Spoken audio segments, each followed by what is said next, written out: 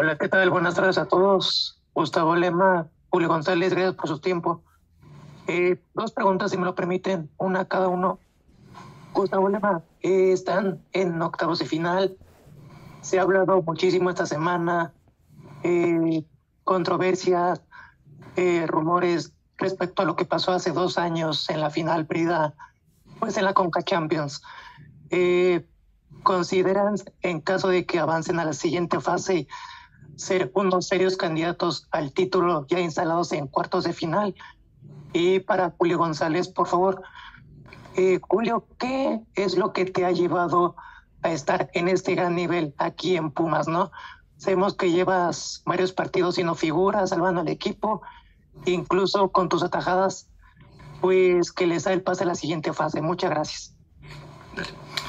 Bueno, primero, buenos días. Eh, la continuidad. Creo que el, el, jugar la mayor cantidad de partidos posibles y, y, poder tener la oportunidad de jugar, creo que es lo que me ha, me llevado a mantener este nivel. Creo que sobre todo es el equipo, porque si, sin las buenas actuaciones como equipo, no podría mostrar mi mejor versión y yo siempre trabajo para, para ayudar a que estemos siempre peleando los primeros lugares y obteniendo victorias.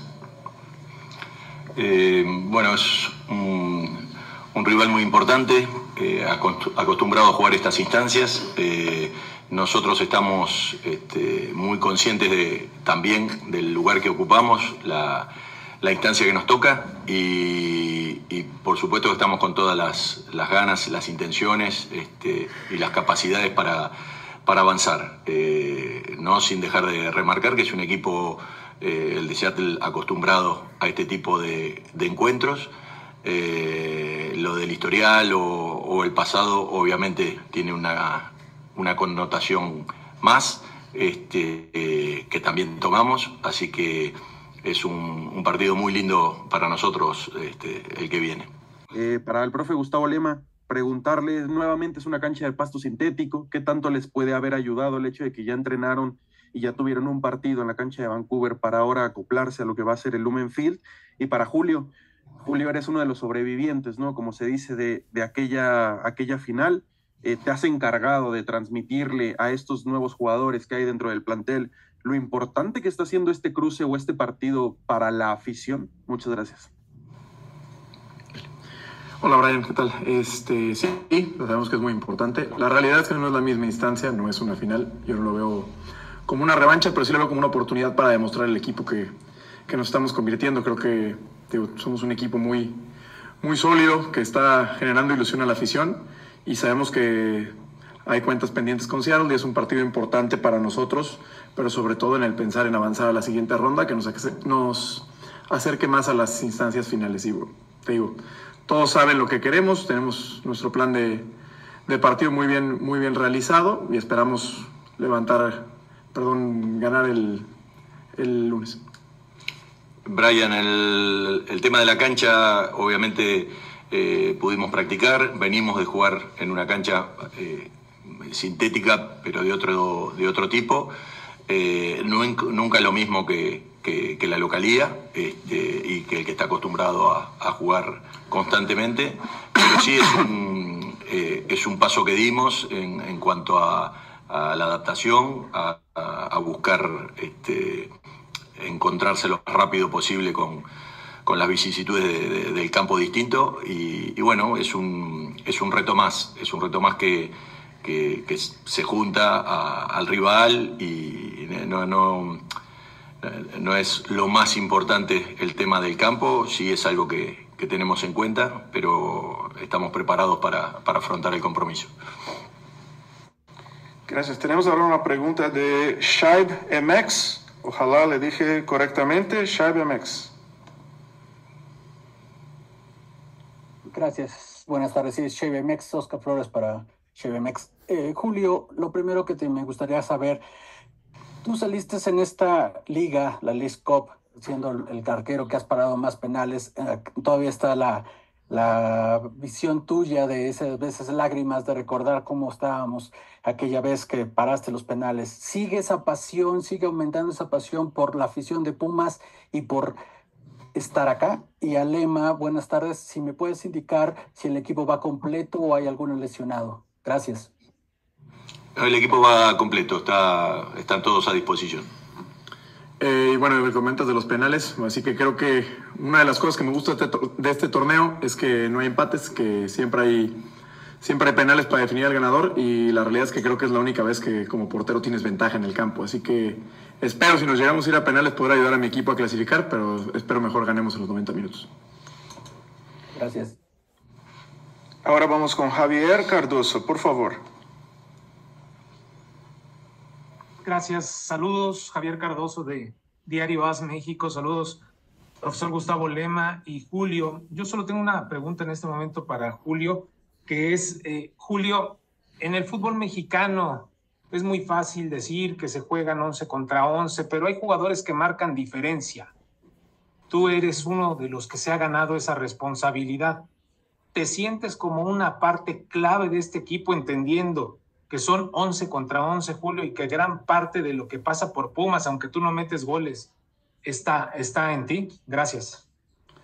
Mira, yo creo que lo, dijiste una palabra muy importante, esto es de equipo. El fútbol no es un deporte individual, claro que las actuaciones individuales ayudan al buen funcionamiento del equipo, pero aquí todos somos importantes y aparte no solo somos 11, somos un plantel de 25 jugadores en el que todos hacen que mejore el compañero y la realidad es que se ha visto en este torneo han jugado casi la mayoría y el que entra siempre está al nivel. Así que yo creo que esto es, te digo, sí las actuaciones individuales son muy importantes, pero siempre al servicio del equipo.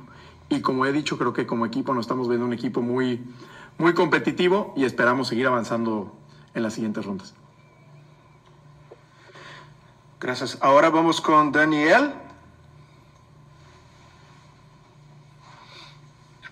¿Qué tal? Buenos días, Daniel Olea de Zona Deportiva desde Los Ángeles preguntarles a ambos, tras ya lo mencionado de la cuenta pendiente de esa final, para ustedes, ¿es una responsabilidad extra a llegar a esta instancia representando a los equipos mexicanos debido a que eh, los equipos de MLS tienen un poco más de números en esa instancia? ¿Representa para ustedes un extra más de que no solo representan a Pumas, sino también la Liga Mexicana? Gracias. Eh, no, no, responsabilidad es la responsabilidad de defender eh, los colores, la camiseta, Pumas y, por supuesto que, la liga, pero también el número, eh, no te olvides que empiezan 17 equipos mexicanos y 28 americanos, por lo menos en la, fase, en la fase de grupo hasta que se suma América. o sea que la diferencia siempre está, la localidad es distinta, ya lo hemos hablado. Eh, la responsabilidad pasa por defender a Pumas este, y llevarlo lo más alto posible. Eh, estamos muy entusiasmados, desde lo dijimos desde el primer día, incluso habiendo empezado con una derrota, que estábamos muy entusiasmados con el torneo, así que seguimos en esa línea. Bueno, y de lo que, de lo que comentas, la realidad es que nosotros no importa contra quién juguemos y queremos así que dejar el nombre de Pumas en alto, que es lo más importante. Gracias. Ahora vamos con la pregunta de Felipe Maqueda.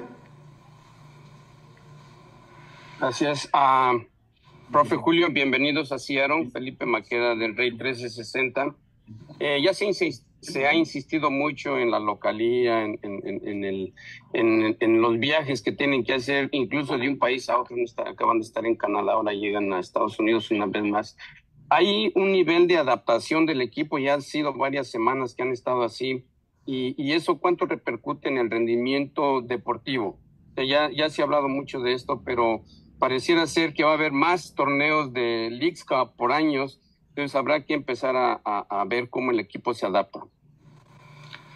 Sí, sí, el, equipo está adaptado y, después hay, mucha mala interpretación por entenderlo por pensar bien. Hay mucha mala interpretación, con lo uno no se queja ni de los viajes, ni de los hoteles.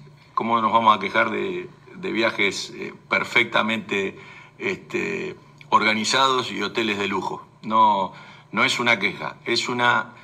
Eh, me parece hasta, hasta tonto tener que explicarlo. Es una cuestión de que el que está en su casa, entrena en su casa, entrena en su campo, juega en su campo, es una obviedad. me parece una, la verdad, este, tener que explicarlo no, no. Pero es, es real, es real eso. Eh, no, no, no, no estamos ni, ni sometidos ni, ni maltratados. Todo lo contrario, es un lujo, estamos agradecidos de, de vivir como vivimos.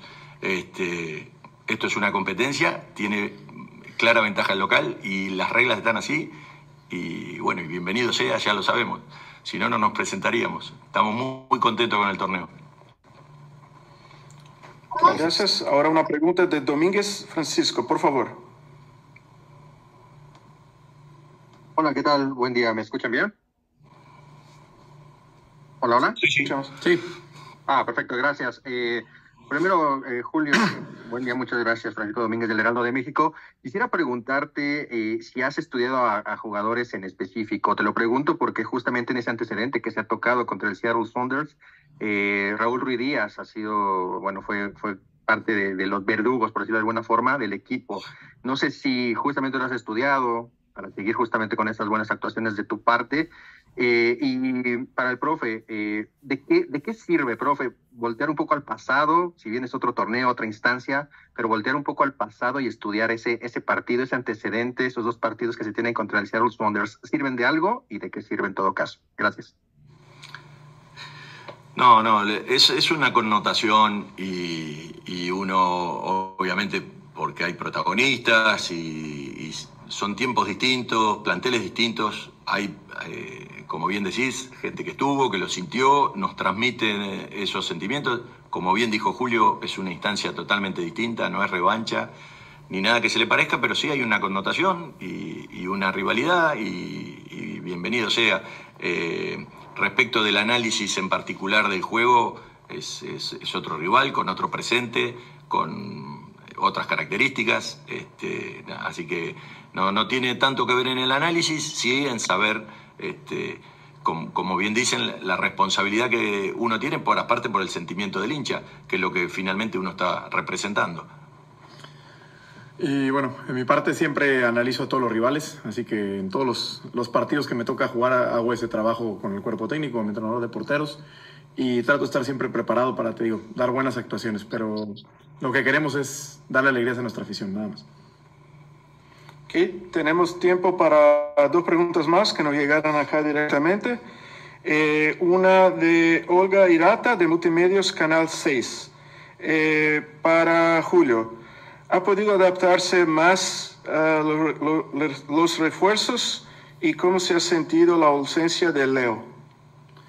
Bueno, creo que los jugadores que han llegado todos son de gran calidad y se, se ha demostrado que han ayudado al grupo. Y Leo, claro que es una baja sensible, así que es un jugador que nos aporta muchísimo en la cancha y también en lo grupal.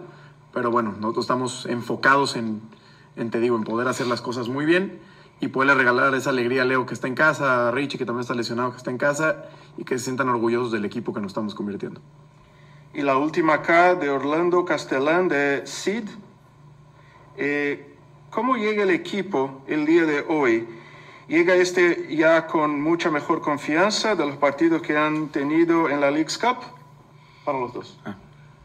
Eh, sí, el equipo está muy bien, está muy bien, eh, llega bien, es, como decimos, un, un, torneo en el que se juega este, con, con, bastante continuidad, pero también te permite preparar o, o, el tiempo entre juego y juego, prepararlo bien y, y por suerte están todos a disposición, así que el equipo llega muy bien. Bueno, con esta última pregunta agradecemos a, al entrenador Gustavo Lema y al portero Julio González. Muchas gracias por la participación. Muchas gracias. A gracias. Muchas gracias a todos por la participación.